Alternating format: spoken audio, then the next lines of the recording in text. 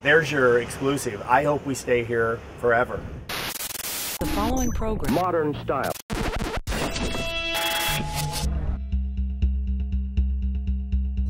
The real truth of the world is when we started Survivor 18 years ago, there were lots of places we could go. It's it's been two decades. It's a different world. There are not as many places we can go for lots of reasons. The economy, population, political unrest, weather patterns. Fiji offers us everything that we want. Incredibly beautiful water that you can see down 30 feet, beaches that are amazing, a government that's working with us, local labor that loves to say bula every day because they're just happy you're here. And our crew has never been as happy. We actually have decent accommodations to do this show out in the jungle. It's a win win win.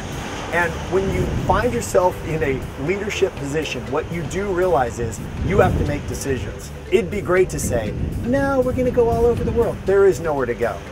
This is our home. I hope we end our show here.